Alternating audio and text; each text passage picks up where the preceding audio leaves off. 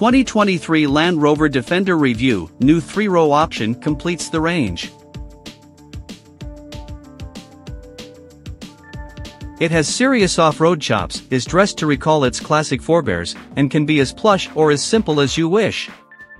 This combination resonates with buyers and has turned the new generation Land Rover Defender SUV into a worldwide sales hit. First launched in the USA for the 2020 model year, more Defender models followed. The range expansion continues for 2023, with the arrival of a third body style named the 130. Its extra length is the result of a much longer rear overhang, which enables Land Rover to fit third-row seating, however, the new 2023 Defender 130 is nearly as capable off-road as its siblings.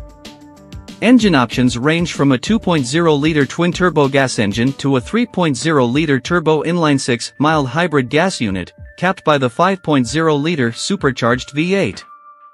All Defenders feature full-time all-wheel drive with a 2-speed transfer case and an 8-speed automatic transmission is standard across the range.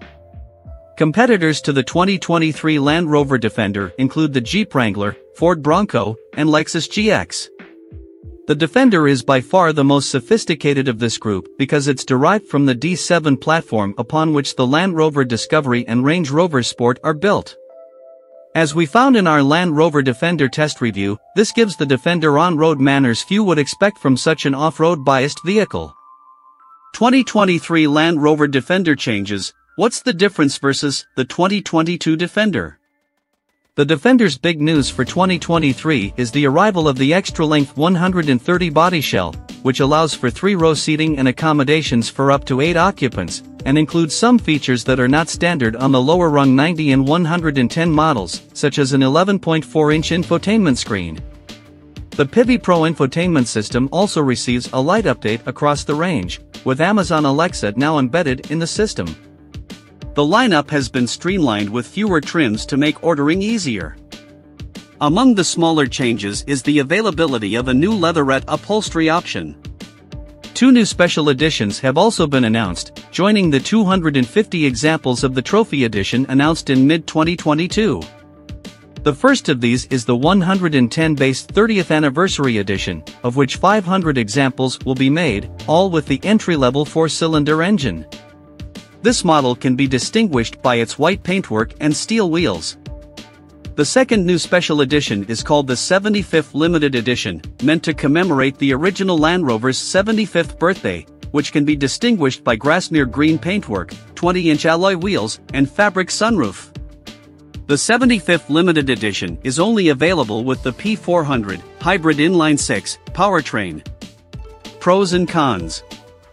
Extremely capable off-road and refined on-road. Lots of off-road and safety tech. Decent engine selection. Distinctive styling. Wide array of options. Small trunk and difficult rear seat access in the 90. 130's third row is cramped. Expensive options. The V8 is very thirsty. 2023 Land Rover Defender handling and driving impressions. Logic dictates that a tall vehicle like the Land Rover Defender would be hopeless around corners, but this is not the case here. Cornering is secure with surprisingly little body roll, although there's no disguising the Defender's heft when the road turns twisty even in basic 3-door 90 form with the smallest engine, it has a curb weight of over 4,500 pounds. Due to the Defender's high center of gravity, grip levels are moderate even on performance tires, with the stability control cutting in early to induce moderate understeer rather than allowing the car to become unstable. But, up until those limits, the steering is responsive and accurate, with good weighting and some communication from the front tires to the driver. As for performance, while the base 2.0-liter engine in the P300 variants gets the job done, the inline-six is the one you want, and the V8 exists mainly for performance freaks with deep pockets. The base powertrain delivers 296 horsepower and 295 lb-ft of torque, which translates to a 0 to 60 miles per hour dash in around 7.2 seconds. Stepping up to the mild hybrid P400, the outputs rise to 395 horsepower and 406 lb-ft and the 0 to 60 miles per hour dash drops to about 6.1 seconds, while the supercharged V8 cuts that to around 5 seconds. They're all pretty quick, but they're also all rather thirsty, with the V8 drinking by far the most with a combined figure of around 16 miles per gallon. Verdict, is the 2023 Land Rover Defender a good SUV? The Land Rover Defender is one of the best genuinely off-road capable vehicles on the market today. Its combination of charming styling and modern tech makes it a great all-rounder SUV, with off-roading ability right at the top of its segment but without the on-road negatives incurred by its competitors. It's also high-tech inside and out, and there are lots of, expensive, options to choose from if you want to personalize one to your taste. There are some things to note, though, the 90 body is cute and stubby, but has handling and practicality downsides due to its short wheelbase. While 90 and 110 offer identical and generous cabin space, getting into the back of a 90 is inconvenient due to its two-door configuration, and its cargo volume is insufficient to carry all those passengers chattel. The 130 is much better in this regard, but its third row is quite cramped. The best pick in the range features a 110 body with an inline-six engine, giving the best compromise between practicality, maneuverability, performance, and relative fuel efficiency.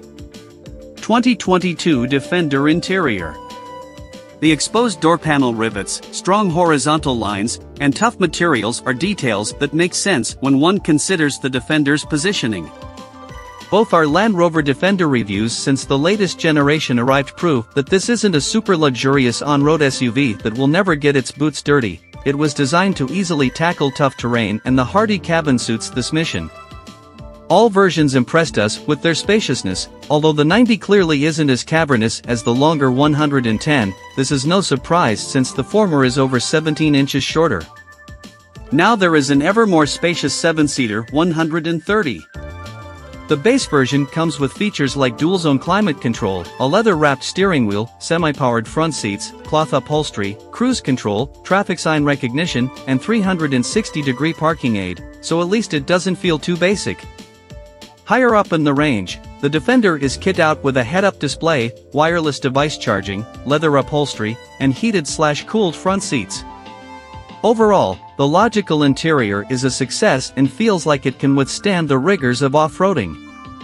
Seating and interior space. While the 110 offers more practicality owing to its size, you couldn't call the 90 impractical. The rear seats are comfortable, offering plenty of headroom, 38.5 inches, and legroom, 36.6 inches, although, with no back doors, ingress and egress aren't exactly straightforward. On an $80,000 car, in X-Trim, you'd also expect the front seats to automatically slide forward and back in position without having to hold on to the button. Using the rear seats regularly could prove tiresome. But for a couple, and those with a youngish child who will love sitting in the middle jump seat, this won't be an issue. The 110 is significantly more spacious though, with up to 39 inches of legroom in the second row and more than 40 inches of headroom back there. The optional plus two-third row is rather cramped though and if you're regularly going to transport that many people, look at the 130 with seating for up to 8 and a more spacious third row. The front seats are well padded and supportive, there's plenty of space in cubby holes for your phone and other bits and bobs and there's an undoubtedly premium feel to what remains a fairly utilitarian vehicle. There is currently a selection of 18 different Defender trims, starting with how long you want it to be Defender 90, 110, or the new 130. All models have a full-time 4WD system with high and low range and an 8-speed automatic transmission. There are also four engines to choose from, though not all are available in all trims and bodies. The base engine is a turbocharged 4-pot producing 296 horsepower and 295 lb-ft. Next up is a 3.0-liter turbocharged inline-six with 296 horsepower and 347 lb-ft of torque which is only used in the 130s. While a version of the same engine with mild hybrid assist and 395 HP/406 lb-ft is offered in other six-cylinder models. Capping the range is the 5.0-liter supercharged V8 with 518 horsepower and 461 lb-ft of torque. It gets to 60 miles per hour in roughly 5 seconds.